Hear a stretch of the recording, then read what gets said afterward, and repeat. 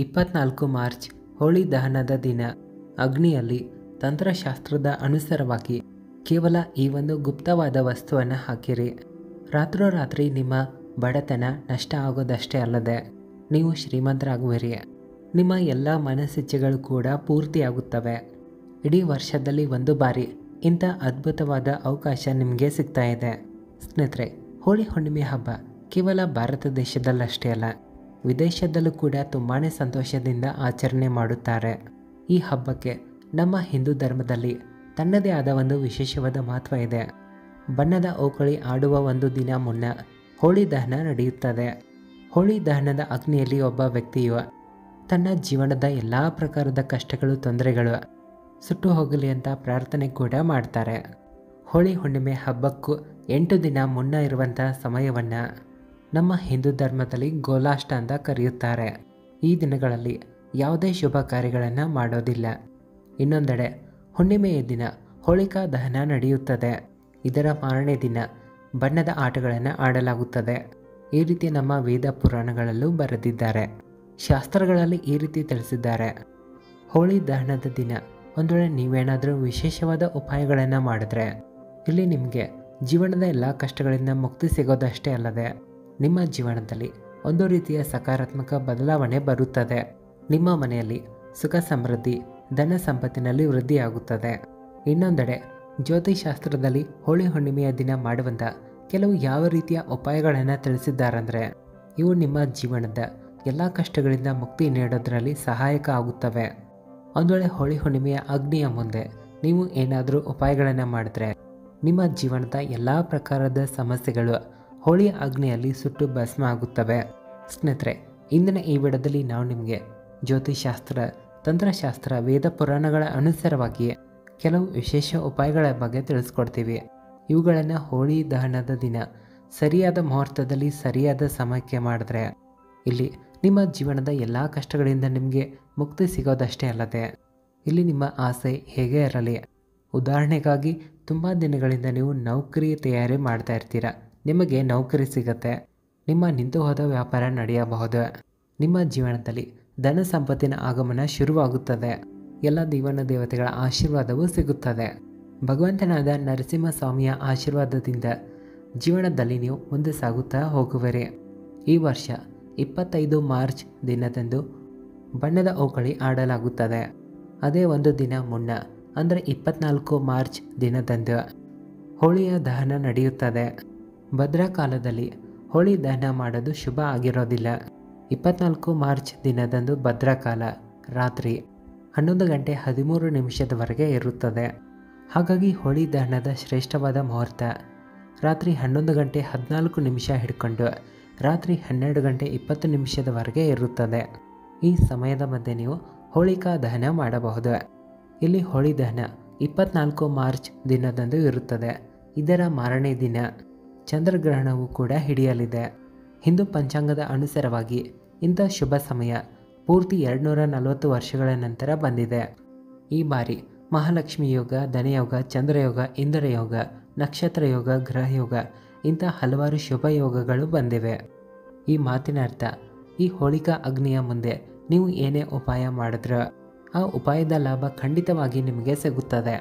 ಇವುಗಳಿಂದ ನಿಮ್ಮ ಜೀವನದ ಎಲ್ಲ ಕಷ್ಟಗಳು ದೂರ ಆಗುತ್ತವೆ. ಜೊತೆಗೆ ಆ ಅಗ್ನಿಯಲ್ಲಿ ಈ ಒಂದು ಗುಪ್ತ ವಸ್ತುವನ್ನು ಹಾಕಿದ್ರೆ ಅದರ ಬಗ್ಗೆ ಈ ವಿಡಿಯೋದಲ್ಲಿ ನಾವು ನಿಮಗೆ ತಿಳಿಸ್ಕೊಡ್ತೀವಿ.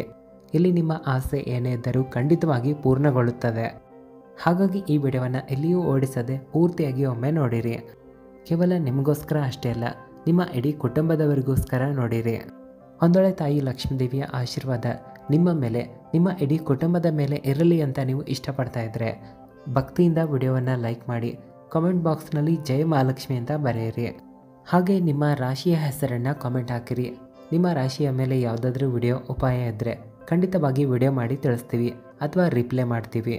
ಸ್ನೇಹಿತರೆ, ಈ ಹೋಳಿ ಹುಣ್ಣಿಮೆಯ ದಿನ ತಾಯಿ ಲಕ್ಷ್ಮೀದೇವಿ ನಿಮ್ಮ ಮನೆಗೆ ವಾಸ ಮಾಡಲು ಬರಲಿ ಅಂತ ನೀವು ಇಷ್ಟಪಡ್ತಾ ಇದ್ದರೆ ಇಲ್ಲಿ ಕೇವಲ ನೀವು ಮಾಡಬೇಕಾಗಿರೋ ಕೆಲಸ ಇಷ್ಟೇ. ಈ ಹೋಳಿಯ ಅಗ್ನಿಯಲ್ಲಿ ಹಸುವಿನ ಸಗಣಿಯಿಂದ ರೆಡಿಯಾದ ಕುಳ್ಳನ್ನು ನಿಮ್ಮ ಕೈಗಳಿಂದ ಹಾಕಬೇಕು. ಒಂದು ಮಾತನ್ನು ವಿಶೇಷವಾಗಿ ನೆನಪಿಟ್ಕೊಳ್ಳಿ. ಒಂದು ಹಸುವಿನಲ್ಲಿ ಮೂವತ್ತ್ಮೂರು ಕೋಟಿ ದೇವಾನು ದೇವತೆಗಳ ವಾಸ ಇದೆ. ಹಾಗಾಗಿ ನೀವು ಎಲ್ಲಾದರೂ ಒಂದು ಕಡೆಯಿಂದ ಹನ್ನೊಂದು ಸಂಖ್ಯೆಯಲ್ಲಿ ಗೋಮಾತೆಯ ಸಗಣಿಯ ಕೊಳ್ಳುಗಳನ್ನು ತರಬೇಕು. ಯಾವಾಗ ನಿಮ್ಮ ಮನೆಯ ಹತ್ತಿರದಲ್ಲಿ ಹೋಳಿಯ ಅಗ್ನಿ ಉರಿಸಲಾಗುತ್ತದೆಯೋ, ಅಲ್ಲಿ ಹೋಗಿ ನಿಮ್ಮ ಬಲಗೈಯಿಂದ ಆ ಕುಳ್ಳುಗಳನ್ನು ಆ ಬೆಂಕಿಯಲ್ಲಿ ಹಾಕಬೇಕು. ಇದರಿಂದ ನಿಮ್ಮ ಜೀವನದಲ್ಲಿ ಏನೇ ನಕಾರಾತ್ಮಕ ಶಕ್ತಿಗಳ ಪ್ರಭಾವ ಇದ್ದರೂ ಅವೆಲ್ಲ ನಷ್ಟ ಆಗುತ್ತವೆ. ಈ ಉಪಾಯ ಮಾಡಿದ ನಂತರ ನಿಮಗೆ ತಾಯಿ ಲಕ್ಷ್ಮೀದೇವಿಯ ಆಶೀರ್ವಾದ ವರದಾನ ಸಿಗುತ್ತದೆ. ಸ್ನೇಹಿತರೆ ಒಂದು ವೇಳೆ ನಿಮ್ಮ ಜೀವನದಲ್ಲಿ ಹಣಕಾಸಿನ ಸಮಸ್ಯೆ ಹೆಚ್ಚಾಗಿದ್ದರೆ ಬಂದಿರುವಂಥ ಹಣಕಾಸಿನಲ್ಲಿ ವೃದ್ಧಿ ಆಗಲಿ ಅಂತ ನೀವು ಇಷ್ಟಪಡ್ತಾ ಇದ್ದರೆ ಇಲ್ಲಿ ಒಂದು ಚಿಕ್ಕ ಕೆಲಸ ಮಾಡಿರಿ. ಒಂದು ಒಣಗಿದ ತೆಂಗಿನಕಾಯಿಯನ್ನು ತೆಗೆದುಕೊಳ್ಳಿರಿ. ಅದರಲ್ಲಿ ಸ್ವಲ್ಪ ಗೋಧಿ ಮತ್ತು ಅಕ್ಷತೆಗಳನ್ನು ಹಾಕಿ, ಎಲ್ಲಿ ನಿಮ್ಮ ಮನೆಯ ಹತ್ತಿರ ಹೋಳಿಕಾ ಅಗ್ನಿ ಉರಿಯುತ್ತಿರುತ್ತದೆಯೋ ಅದರಲ್ಲಿ ಹೋಗಿ ಅದನ್ನು ಹಾಕಿರಿ. ಕೇವಲ ಎಷ್ಟು ಚಿಕ್ಕ ಉಪಾಯ ಮಾಡಿದ್ರು ನಮಗೆ ಎಡಿ ಸ್ನೇಹಿತರೆ, ನಿಮ್ಮ ಜೀವನದಲ್ಲಿ ಕೇವಲ ಹಣಕಾಸಿನ ಆಗಮನ ಆಗೋದಷ್ಟೇ ಅಲ್ಲದೆ ಅದರಲ್ಲಿ ವೃದ್ಧಿ ಕೂಡ ಆಗುತ್ತದೆ. ಇದು ಒಂದು ಯಾವ ರೀತಿಯಾದ ಉಪಾಯ ಆಗಿದೆ ಅಂದರೆ ತಂತ್ರಶಾಸ್ತ್ರದಲ್ಲಿ ವಿಶೇಷವಾಗಿ ಇದರ ಬಗ್ಗೆ ತಿಳಿಸಿದ್ದಾರೆ. ಸ್ನೇಹಿತರೆ, ತುಂಬ ದಿನಗಳಿಂದ ಯಾವುದಾದ್ರೂ ಅನಾರೋಗ್ಯ ಸಮಸ್ಯೆ ಮನೆಯಲ್ಲಿ ಯಾರಿಗಾದರೂ ಕಾಡ್ತಾ ಇದ್ದರೆ ಅಂತ ಅನಾರೋಗ್ಯ ಸಮಸ್ಯೆಯಿಂದ ಮುಕ್ತಿ ಸಿಗಲಿ ಅಂತ ನೀವು ಇಷ್ಟಪಡ್ತಾ ಇದ್ದರೆ ಇಲ್ಲಿ ಒಂದು ಚಿಕ್ಕ ಕೆಲಸವನ್ನು ಮಾಡಿರಿ. ನಿಮ್ಮ ಮನೆಯಲ್ಲಿ ಯಾರು ಅನಾರೋಗ್ಯದ ವ್ಯಕ್ತಿ ಇರ್ತಾರೋ ಅವರ ಬಲಗೈನ ಅಳತೆಯಷ್ಟು ಒಂದು ಕಪ್ಪು ದಾರವನ್ನು ತೆಗೆದುಕೊಳ್ಳಿರಿ. ಆ ಕಪ್ಪು ದಾರವನ್ನು ಆ ಅನಾರೋಗ್ಯ ವ್ಯಕ್ತಿಯ ತಲೆಯ ಮೇಲಿಂದ ಎಡಭಾಗದಿಂದ ಬಲಭಾಗದತ್ತ ಏಳು ಬಾರಿ ತಿರುಗಿಸಬೇಕು. ನಂತರ ಆ ದಾರವನ್ನು ತೆಗೆದುಕೊಂಡು ಹೋಗಿ ಹೋಳಿಯ ಅಗ್ನಿಯಲ್ಲಿ ಹಾಕಬೇಕು.